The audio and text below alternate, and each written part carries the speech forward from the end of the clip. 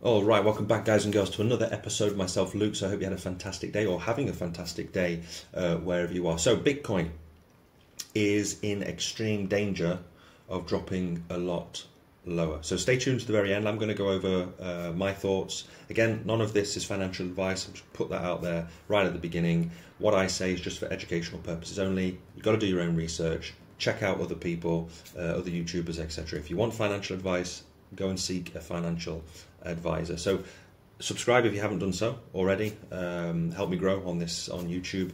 Thumbs up, thumbs down, whatever. It's all good for the algorithm. So today, in the Bitcoin price right now, we have gone past that green uh, support. Now, if you were with me yesterday, now my, the title of my thumbnail yesterday was basically we had to jump past 64k.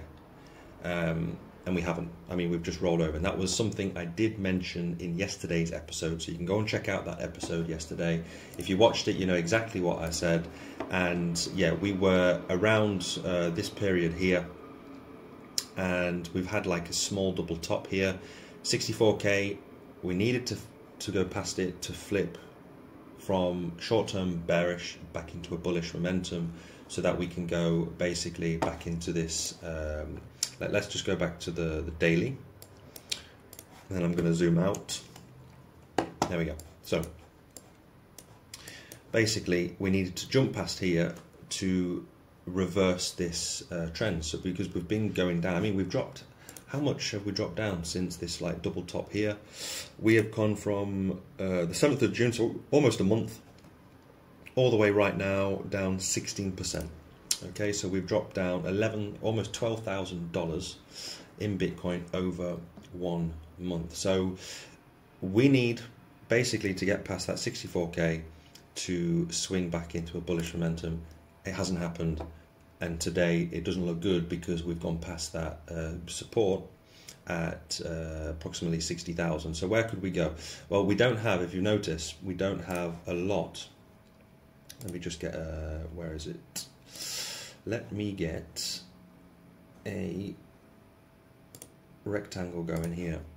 So we do have this here, and this is the problem. If we drop, in my opinion, if we drop below uh, these prices here of what 50 59k to between 58 59k then most likely it's lights out and we're going to go a lot lower. It's just, I mean, I don't want to sound a bearer of bad news, but it is what it is. But if it goes lower, personally for me, it's a great buying opportunity because Bitcoin will be uh, at lower prices, it'll be cheaper uh, to accumulate Bitcoin and for the altcoin. So, yes, the Bitcoin dominance as well has uh, gone up a, a, slight change in percentage, which is not good for the altcoin. So, the altcoins have uh, dropped down what 10 15% for the week.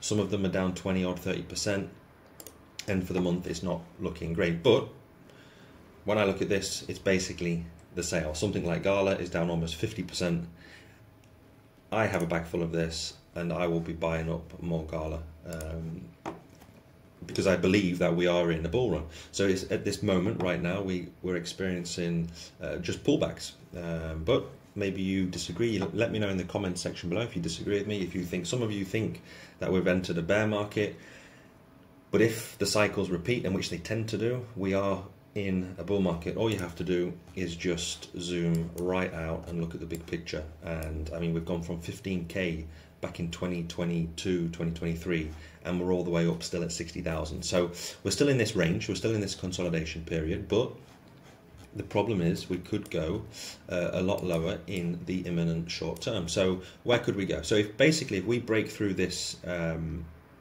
purple uh, rectangle over the next few days, it, I mean it looks like it could do. I mean we're not, we don't have a lot of uh, support left here. Then, like I said, we probably come all the way down to the next level of 51, 52,000, which we clearly have some key support here. After that, we've got this gigantic level here of 44, 45k. Personally, I don't think we will drop lower than 51k. So that's what I was uh, pointing at at the beginning of the show. We could drop, what, what would that be? Another, so basically it would be another 10,000 uh, almost, an 8, 9k that we could drop. We could drop another 14%. So in a bull run, usually Bitcoin does go through these um, 25 30% corrections. And if you go from the, the top here, uh, back in, when was this? March of this year, and we do come down to that, uh, and it's interesting because it's the Fibonacci level at that $52,000 level, I think it's a 0.38 level.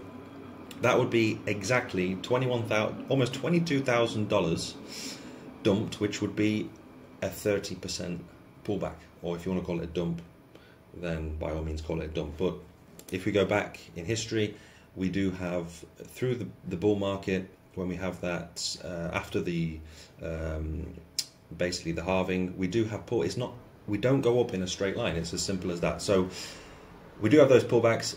It would actually be healthy for the market if we did go down to these levels. Personally, I hope it doesn't. But if it does, then my opinion, I will be buying up more Bitcoin, more altcoins at these levels because if the cycle repeats, and I, I think especially with big institutions, the ETF narrative, etc.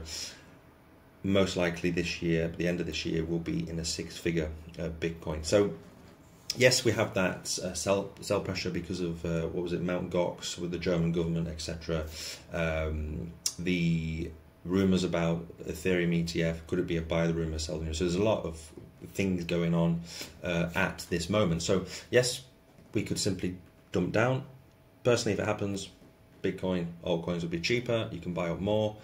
It's not the end of the world. It's just, I mean, not just, it's a 30% pullback. But personally, I don't think we will go any lower than, for sure, I don't think we'll go back into the 30s. Some are waiting for the 30s. I think that's finished for this cycle.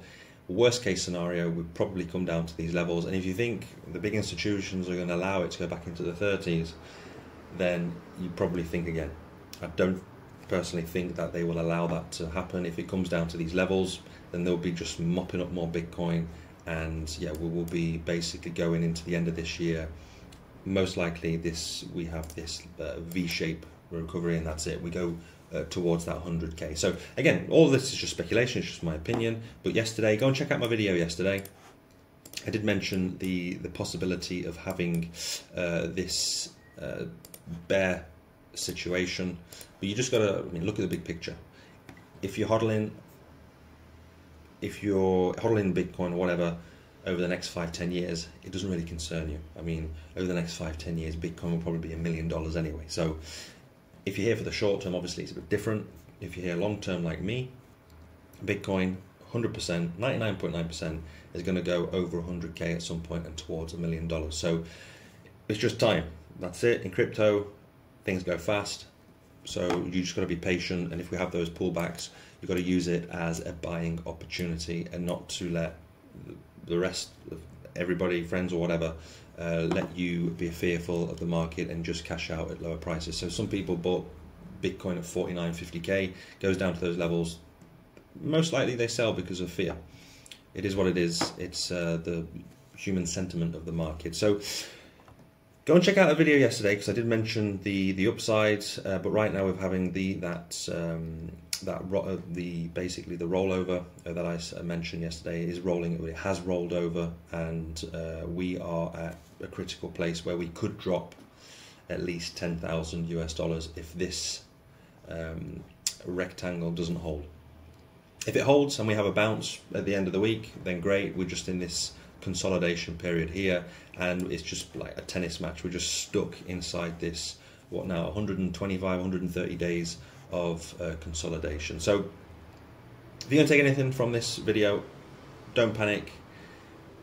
Stick to your plan. We are in a bull market. Yes, we can have 25, 30% corrections. Just stick to your plan. Be patient and yeah, don't panic sell. But you do what you got to do. So that's pretty much it. I just wanted to bring out a quick video. Sorry I'm a bit late today. Usually I do it in the morning, but had to uh, yeah had a lot on. Um, but tomorrow hopefully I'll be with you uh, around the lunchtime period. If not, it will be at some point in the evening. So thanks very much, guys and girls, for watching, sticking around to the end. Make sure to subscribe if you want the chance to win a, a, ledger to keep your crypto safe, you just have to simply hit the subscribe button, leave any comments, thumbs up, like I said at the beginning, and I will see you next time with another video. Bye bye.